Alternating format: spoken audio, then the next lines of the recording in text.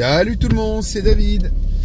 Et soyez les bienvenus à la croisée des chemins. Pour ceux qui ont vu la vidéo d'hier, ben voilà, je vous avais dit, je la tourne direct après. Je suis arrivé à prendre de la terre chez mon fournisseur pour euh, continuer euh, ma cuisine, qui arrive gentiment sur la fin en termes de nécessité de terre. Mais c'est que la première de toutes les pièces, donc il y aura encore beaucoup de boulot. Nouvelle vidéo donc. Euh, cette fois-ci, donc hier, on a abordé le sujet du gouvernement qui a adopté des stratégies pour casser les mouvements de manifestation. Gilets jaunes, agriculteurs, bonnets rouges avant, enfin il y a énormément de mouvements qui se mettent en place. La plupart avortent même avant de démarrer. Certains font du bruit. Mais le processus pour casser ces manifestations est bien rodé et empêche tout mouvement révolutionnaire d'émerger. Or, quand je parle avec les gens autour de moi, tout le monde a conscience de ça. La plupart disent euh, de toute façon on peut rien faire. La plupart disent euh, que euh, bah eux de toute façon voilà ils savent bien que les choses vont mal, mais, mais qu'ils euh, n'ont pas trouvé, ils n'ont pas d'idée sur comment faire euh, pour amorcer quelque chose. Et donc du coup, bah, dans la démarche qui est la mienne aujourd'hui, je, j'essaye de, réfléchir au quotidien, aux solutions qu'on pourrait apporter pour changer les choses. Je pense que si vous suivez la chaîne régulièrement, ces solutions, vous les connaissez déjà, mais je m'adresse ici éventuellement aux personnes qui auraient découvert la chaîne par la vidéo précédente ou qui tout simplement euh, voilà, ont, plaisir à, parler de,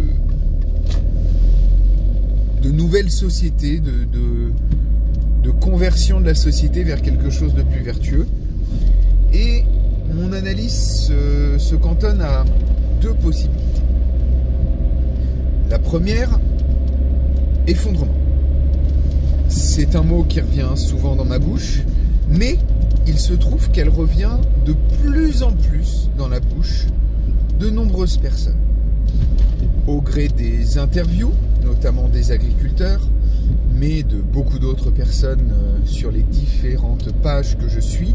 Encore ce matin sur la chaîne Je suis pas content de Greg Tabibian, euh, un agriculteur disait qu'il va y avoir un effondrement. Alors, il parlait du milieu agricole, mais au moment où il a parlé de ça, il n'a pas précisé du milieu euh, de l'agriculture. Il l'a précisé en le bafouillant un peu après, mais je pense que il en a dit plus que ce que, ce qui était entre guillemets attendu dans la vidéo dans le sens où on voit bien qu'à la base il voulait dire qu'il allait avoir un effondrement. Hier, alors ça c'est un peu 36-15 ma live, je revois un copain que je n'ai pas vu depuis presque 10 ans, ça passe vite, et qui me dit bah tiens je passe par chez toi, je suis juste en face, euh, euh, je sais que t'es là, bah, est-ce que t'es là cet après-midi Je passe faire un petit coucou, bref, il passe, petit café, comment ça va, les nouvelles, etc. Puis on se met à parler de choses plus approfondies. Commence à. Voilà, il me dit bah tiens, je te suis sur, euh, Facebook et tout, euh, pour ton camping, je regarde un peu ce que vous faites, ça a l'air super et tout. Il me dit mais dans tes publications, de temps en temps, je vois passer euh, autonomie, etc. comme quoi le camp, enfin, t'explique aux futurs vacanciers qu'ils arrivent dans un lieu qui est pas seulement consacré aux vacances, mais aussi on parle d'autonomie, où on réfléchit autonomie, et qui leur permet de visiter un lieu sur lequel on travaille à ça. Je ne vends jamais aux gens que je suis autonome, mais que j'y travaille. Et, euh, là, il me dit, bah, t'as bien raison, parce que, euh, de toute façon, euh, on le sait bien.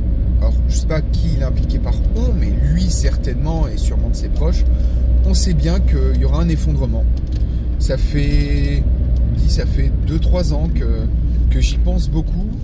Je suis en train d'acheter un terrain pour, euh, pour faire construire un Earthship. Euh, et, et essayer de commencer un peu un travail d'autonomie, etc.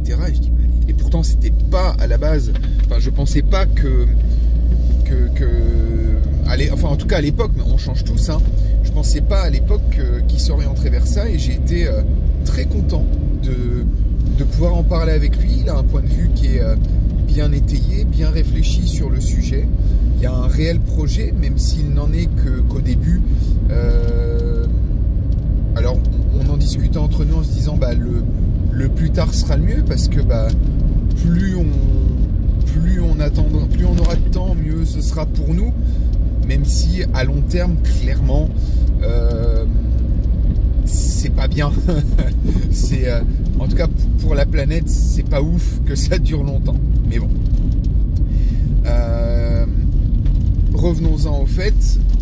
Beaucoup de gens aujourd'hui se rendent compte qu'il va y avoir un effondrement et finalement beaucoup l'attendent comme un, un genre de, de reset, le grand reset. il ne faut pas avoir peur. Euh, un, renouveau. Alors, un renouveau, ça c'est clair. Est-ce souhaitable pour autant? Je pense qu'on est à peu près tous d'accord pour dire que non. Et qu'il vaudrait mieux que les choses aillent dans le bon sens, de manière euh, vertueuse et volontaire, même si, clairement, je ne suis pas optimiste là-dessus. J'ai vraiment pas l'impression que les gens vont se bouger tant qu'ils ne seront pas au pied du mur. Là, les agriculteurs aujourd'hui sont au pied du mur, ils se sont bougés et ils n'ont pas employé la bonne méthode. Ils se sont fait couper l'herbe sous le pied.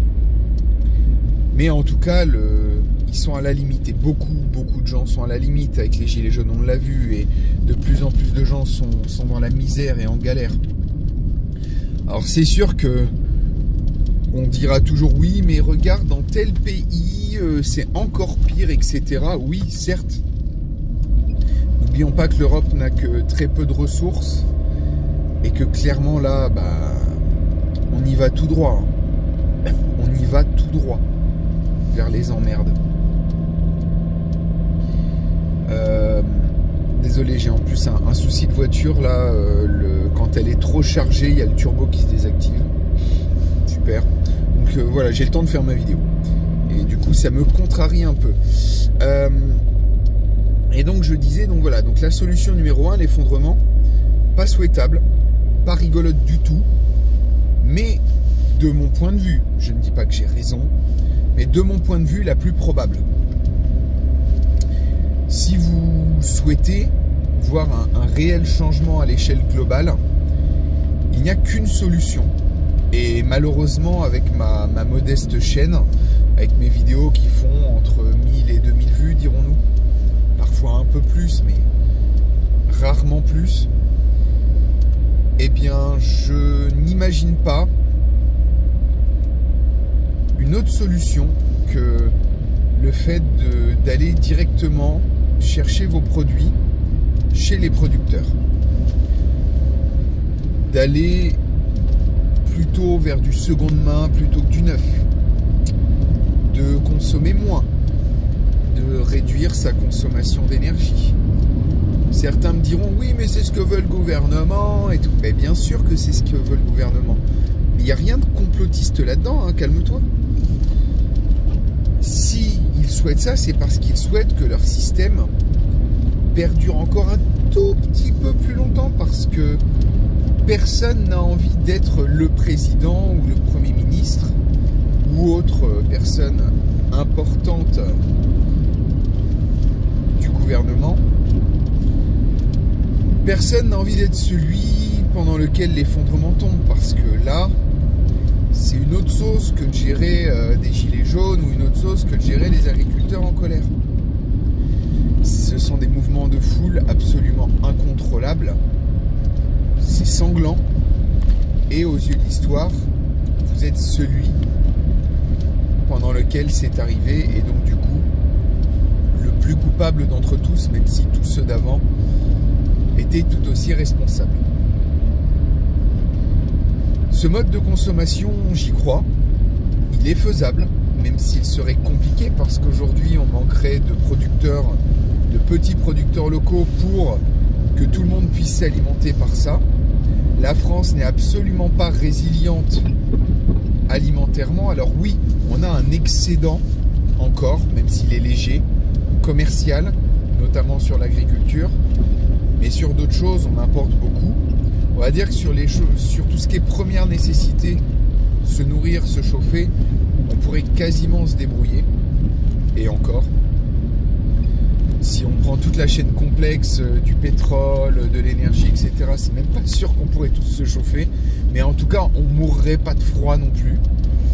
Euh, par contre, euh, mourir de faim serait compliqué. Hein. Il faudrait énormément de gens qui se retroussent les manches. Est-ce qu'on aurait les terres pour, etc. Je ne sais pas. Mais en tout cas, L'effort collectif pour y arriver serait intense. Pas infaisable, mais vraiment intense. Et le problème, c'est que bah, cette solution numéro 2, de relocalisation, de simplification de nos existences, etc., très peu de gens auraient envie d'y participer. Beaucoup préféreront euh, prendre la voiture pour faire 300 euh, mètres pour, euh, par exemple, emmener les enfants à l'école, en laissant le soin de chauffer la voiture 10 minutes avant pour que les enfants aient bien chaud dans la voiture.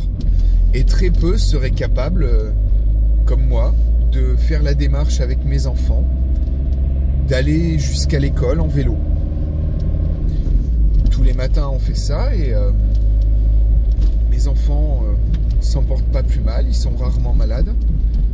Mon petit loup, euh, tous les matins, il est assis derrière moi sur le vélo, avec papa comme euh, parvent.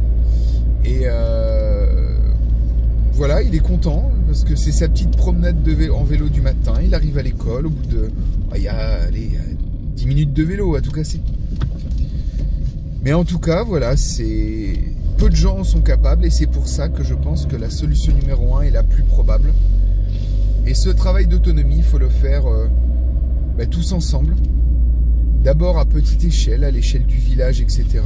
Parce que à l'échelle globale, ça ne sera possible que lorsque tous les échelons locaux seront implantés. Et là, les échanges seront possibles. Alors je simplifie beaucoup, mais clairement, c'est vers ça que ça tend. Si on veut arriver à quelque chose de, mieux et tous être euh, bien nourris et heureux. Alors chacun a sa définition du bonheur bien sûr, mais je pense que globalement, euh, une fois qu'on a goûté à ce mode de vie-là, on ne peut que l'apprécier. Et comme euh, malheureusement peu de gens y sont prêts, bah, j'ai bien peur qu'on s'oriente vers la solution numéro 2. Mais en tout cas, les mouvements de manifestation, vous oubliez. Merci de m'avoir écouté. N'oubliez pas le petit pouce, commentez pour me dire ce que vous pensez de ça. Est-ce que vous avez d'autres solutions à apporter? Et dans tous les cas, bah, portez-vous bien et à bientôt à la croisée des chemins.